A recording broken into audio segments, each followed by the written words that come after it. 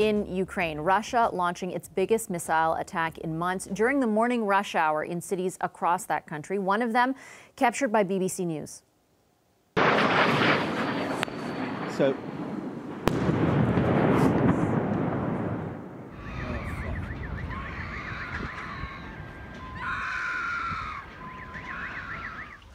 Ukraine says 84 Russian missiles struck multiple cities, including the capital, Kyiv. 11 people were killed, dozens more injured, and a lot of critical infrastructure was damaged. The attacks left four regions, for example, without any power.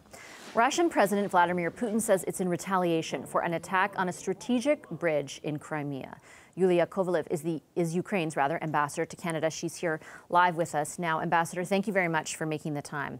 I, I could sense uh, your reaction to some of those images. And first off, you know, our condolences for all the loss of life uh, that Ukraine has incurred just just in during that morning rush hour, as we detailed.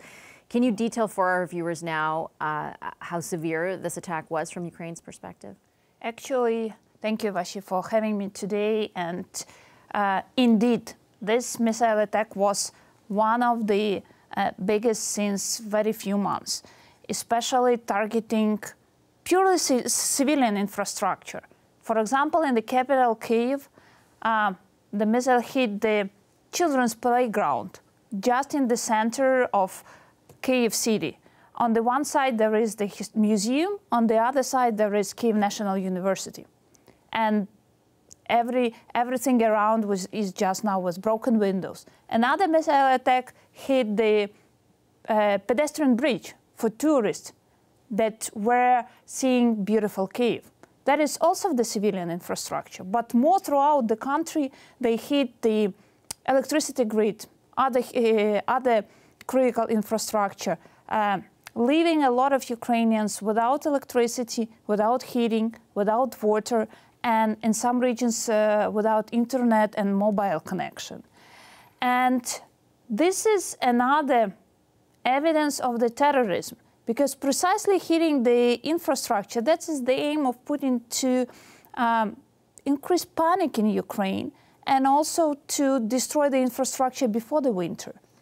Are you concerned that this also, the nature of this attack signifies uh, an increase in, in Russian aggression? And I'll tell you why I'm asking. I read this really interesting sentence in, in an article about what happened in The Guardian. For months, Russian war pundits, armchair generals, uh, military bloggers, and others have been clamoring for all out war against Ukraine. And then it goes on to say they were satisfied for a moment upon witnessing what happened. Do you think that assessment is accurate? Having many Russians politicians and bloggers satisfying with killing innocent people as, as today, 11 dead. Uh, this is the madness of the country of Russia. Because having the political leadership uh, just happily uh, commenting on, on destroyed schools, hospitals, and kindergarten, that is the madness of all of the Putin's regime and the cruelty we saw. We saw this back in Chechnya, we saw this back in Moscow many years ago. We saw it in Syria. And now this is the same in Ukraine. Are we concerned? No, we are cautious, and many Ukrainians spent five hours this morning in the basements, in the shelters, in the subways, which today uh, did not work for a few hours because of many people use them um, as a shelter.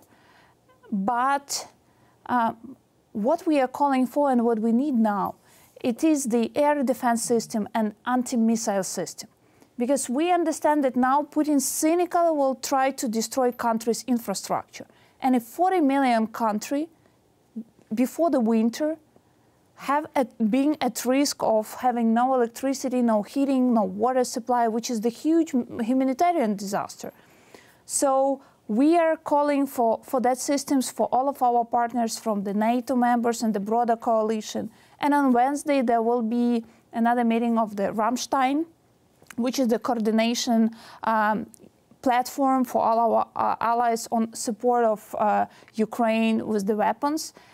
And that is the right time for our partners to step in to support. And I know that the Minister of Defense, I believe, from this country is going to attend those meetings. I know that the Prime Minister uh, here in this country condemned and, and spoke with President Zelensky yeah. today, offering more support. Can you be specific, just as I would ask them to be specific in what support they will provide? Uh, is Canada, uh, you know, wh where do you really need that help for air defense from? What countries are you looking to specifically?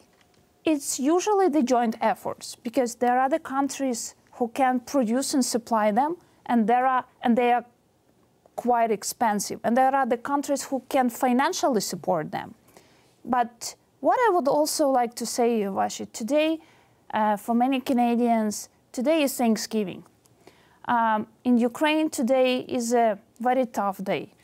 But we would like to say thank you for many Canadians today and uh, for Canadian government for being with us uh, from the February 21st, uh, 21st and being uh, with us today, having the calls with Prime Minister Trudeau and President Zelensky, Minister Joly and Minister Kuleba, and a lot of warm words from Canadians across the country today being with us so today on this Thanksgiving, I would like to say thank you.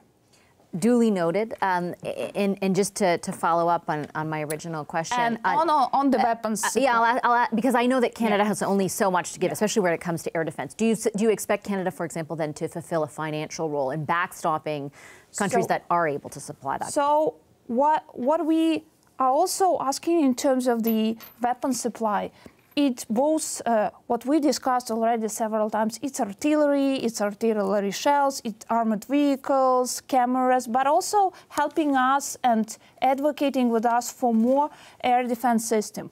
And here we need to be all, altogether coordinated and let me say at some point creative to help us to protect our sky. Okay, and then uh, finally, I wanted to ask you two weeks ago, um, your uh, government wrote, uh, the Canadian government, and had some very specific asks, more armored vehicles, for example, howitzers. Uh, we spoke then, and, and, you didn't have a firm answer, but you were confident more was coming. Do, do you have an update for us on that? Um, I'm still being uh, optimistic on that. But you don't have a final answer from the Canadian government?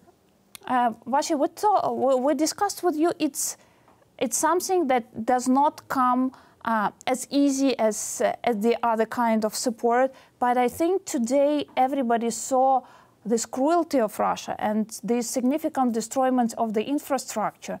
And that I think should uh, support our partners to provide us more this defense, air defense system and more weapons, uh, because that is now the crucial issue to, to protect people's life throughout all of the countries. So this this week there will be there will be an important week in Ramstein where all of our partners can co coordinate because usually the, the military support it's the coordination of, uh, of of our partners. So we are looking forward uh, for the good news for Ukraine. Okay, Ambassador, I'll leave it there. Thank you much, very much for your time this evening. Yulia Kovaliv is the uh, Ukrainian ambassador to Canada. Hi, I'm Vassy Kapelos, host of Power and Politics. See more of our show by subscribing to the CBC News channel or click the link for another video.